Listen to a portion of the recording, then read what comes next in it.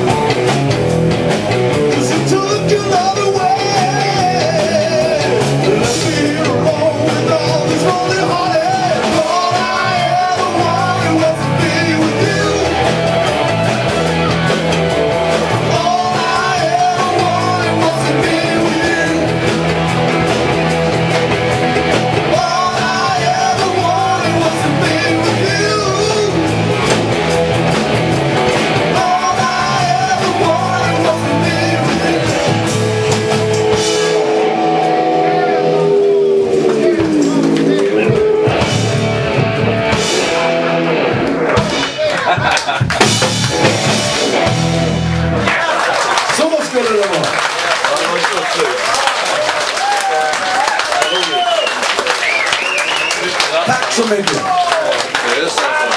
Huh? No, thank you.